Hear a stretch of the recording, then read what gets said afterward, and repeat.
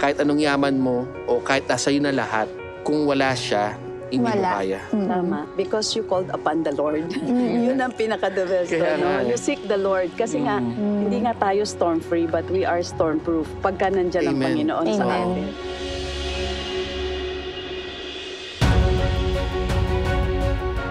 Buongiorno! Ciao tutti! Ako po si Carlo, At ako po si May. magkatuwang sa buhay dito sa Milan, Italy. At ito ang aming kwentong MX3. Paano kayo nagkakilala dito sa Europe? Nag-online na siya. Yes, online online. selling. Nagmamarinate ako ng ah, tapa, tosino, longganisa. Because of that tapa, nagpunta ako ng Vienna. So May was in Vienna that time. Yeah. Mm, kasi I grew up in Vienna. Time na yon, halos araw-araw na siya tumatawag. Parang nagtatanong siya about business. Ako naman nagbibigay ng mga ideas. Hindi ko alam may gusto siya sa akin. Hindi And then niya after na a while- namamalayan. Ko na siya konti-konti. Yun yung maganda, no? Si, si May is on finances. Ikaw naman, interested ka in putting up a business. So, doon kayo nagkasundo.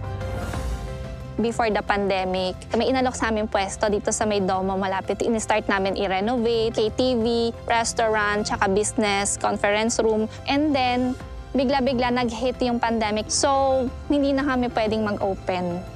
We lost a lot. When you fail, hindi lang naman pera ang Yeah, oo. ang nalulose mo. Kung hindi, you lose your dreams, your hope, sometimes even faith. Alam namin nandiyan si God. yes, that's the Yun- best thing, no? Yes. Yun na nakasurvive sa amin. Nabuhayan kayo ng loob to go on and to move forward.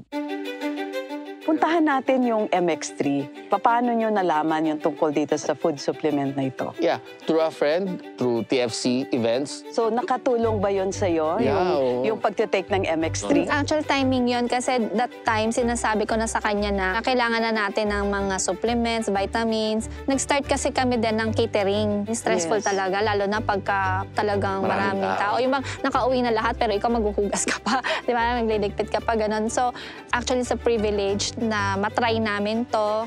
And ah, nandito na sila sa Europe. So, hoping and also praying na ma-extend din yung MX3 sa mga kababayan natin. Lalo na kasi pagod sa work. So, makakatulong ito not only sa physical health nila and also sa spiritual being din nila. Thank you. Thank you so much, Carlo. Thank you, May. Thank you. Thank, you so much. Thank you so much.